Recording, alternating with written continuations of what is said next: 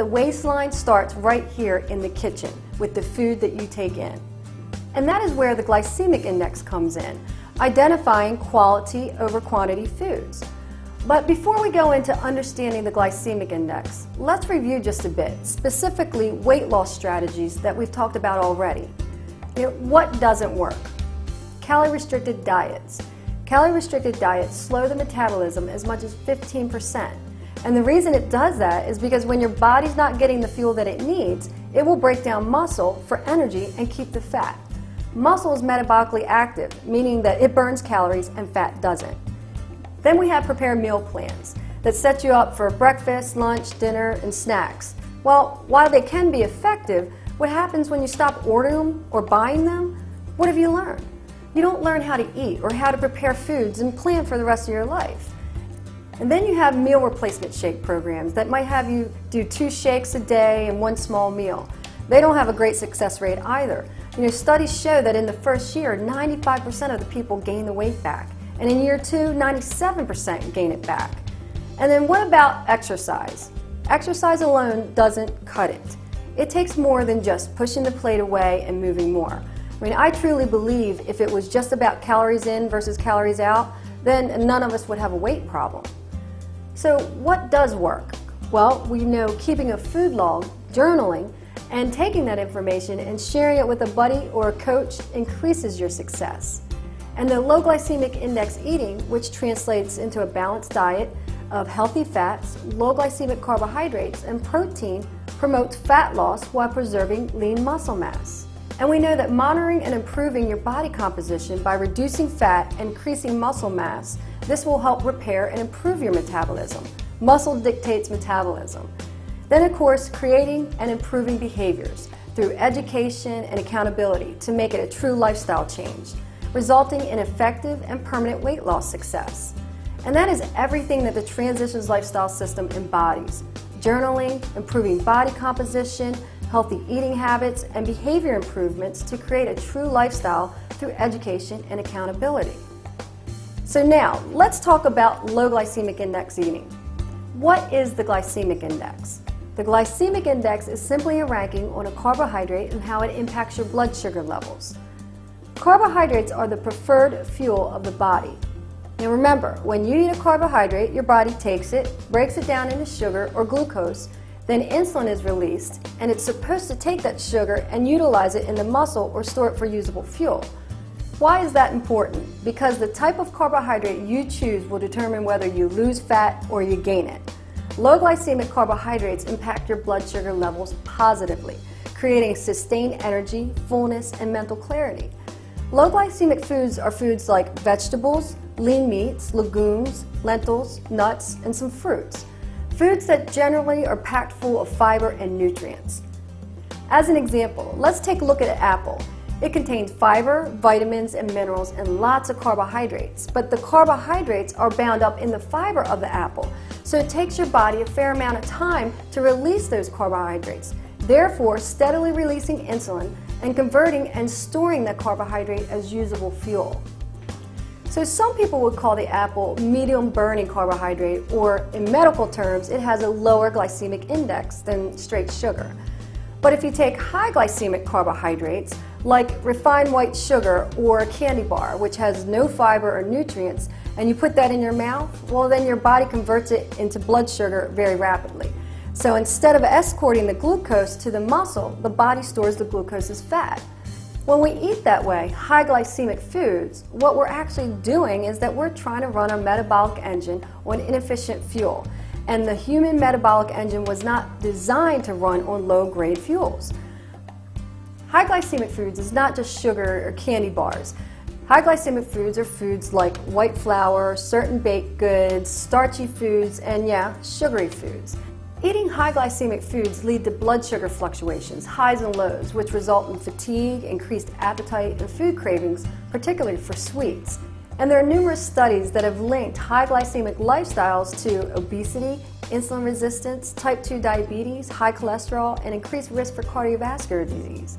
There are also some studies that have shown high glycemic lifestyles could possibly increase the risk for certain cancers, like breast, prostate, and colorectal. On the other hand, eating low glycemic index is not just about weight loss, it's about your health and improving quality of life. Several studies have shown that low glycemic index eating, as we know, can facilitate weight loss by helping the body burn fat more efficiently and curb your appetite and cravings. Following a low glycemic index lifestyle can improve blood sugar control and improve insulin sensitivity. There are even benefits for the heart. Low glycemic index eating has been shown to lower levels of triglyceride, cholesterol, and C-reactive protein, that's inflammation, all known risk factors of heart disease. Now, there are several factors that influence the glycemic index of a food. And when you look at the glycemic values, well, 1 to 55 is considered low, 56 to 69 is medium, and 70 to 100 is considered high. Now, what can influence the glycemic index ranking? The type of starch or sugar it contains, the acid content, the amount of soluble fiber, which swells in water, slowing the rate at which your body breaks it down, and the extent of processing and or cooking that you do to it. Highly processed foods generally have a higher glycemic index, and cooking, processing, and age all affect a food's glycemic index. For example, underripened bananas, they have a glycemic index of 43, and that's low. And 85% of the carbs in those bananas are starch, changing into sugar as the banana ripens, changing the glycemic index to 74, which now makes it high. Processing changes it. The glycemic index of whole grains like barley, bulgur, oats, and whole wheat generally have a low glycemic index. But when you take those grains and you crack them, cut, or split, breaking down the quality of it, like to a fine flour or to make it cook faster, well, that will make it high glycemic due to smaller particle size. And the protective, harder to digest outer coating has been removed, causing rapid digestion and your glucose to raise. Perfect example whole oats. Whole oats are lower glycemic than instant oatmeal, which is made from smashed oat grains.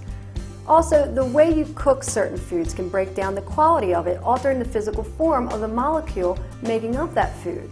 So it can raise the sugar content and destroy nutrients. Another example is a white potato.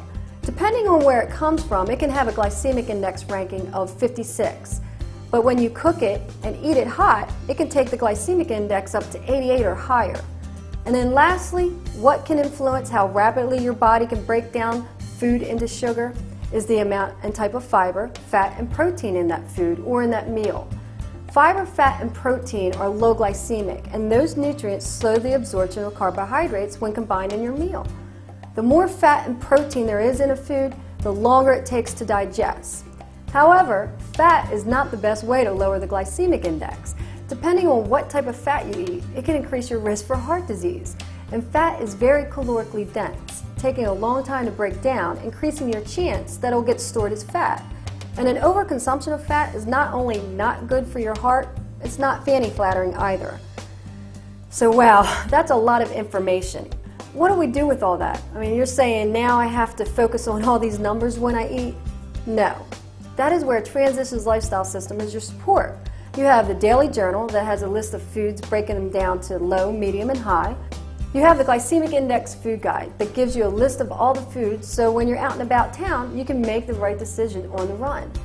You also have transitionslifestyle.com where you can create your food plans for the week, print out the recipe and grocery lists. We've done all the work for you so you don't have to worry. And in the process of education and application, as time goes on, you won't have to carry around a food list or a book.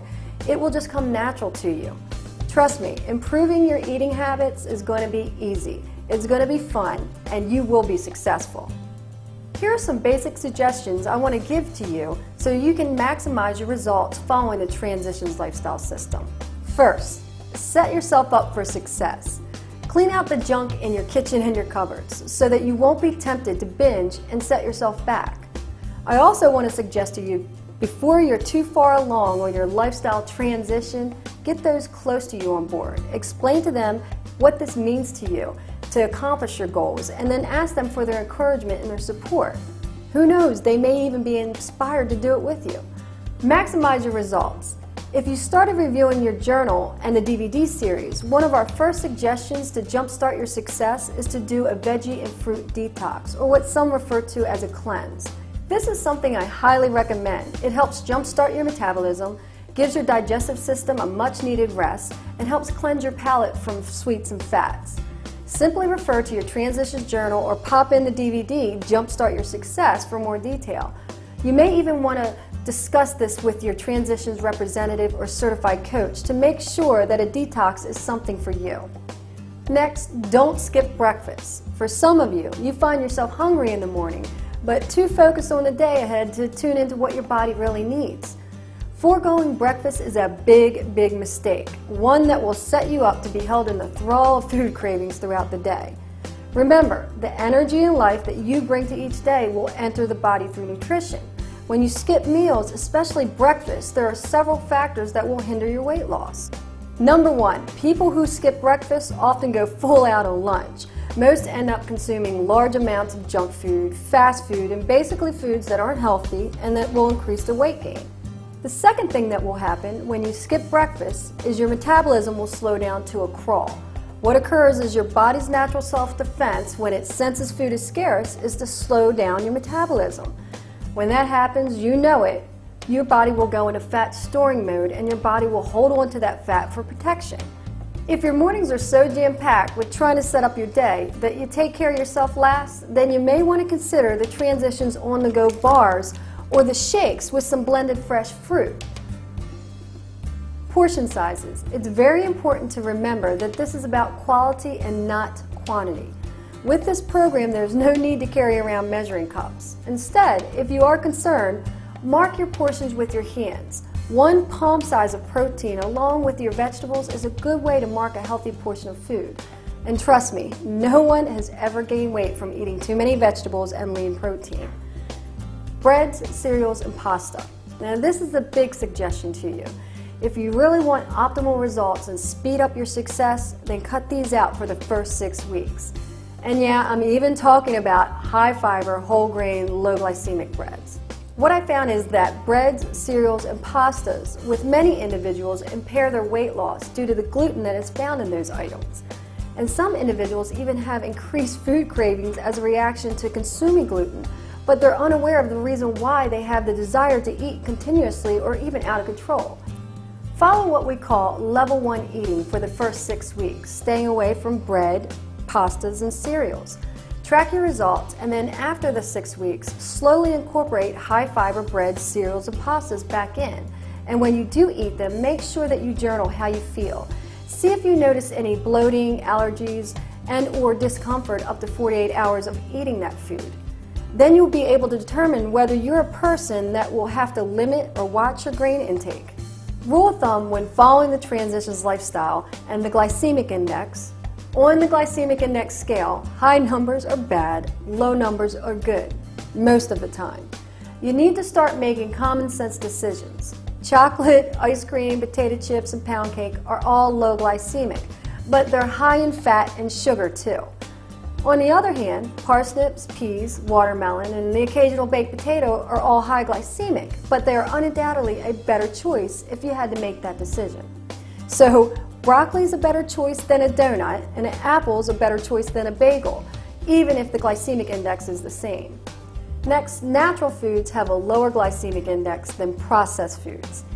And uncooked fresh vegetables are better than frozen or overcooked vegetables. But you don't have to eat them raw, just don't overcook your vegetables. Whole grains have a lower glycemic index than processed grains, but do be aware of the gluten. Fruits and vegetables are pretty much fine, even if the glycemic index is high. High glycemic vegetables and fruits are vegetables and fruit, full of enzymes and nutrients. Where the problem lies, if for example you're eating melon, which is high glycemic, all day, every day, then that's not going to support you in your weight loss goals and help get your metabolism back on track. There's no calorie restriction with following low glycemic index eating. It's about eating healthy ratio of proteins, carbohydrates, and good fats. Getting a healthy mind and body with a glycemic index is about making common sense decisions and choices. Making conscious choices to choose and eat the foods that are going to support your metabolism and your weight loss efforts.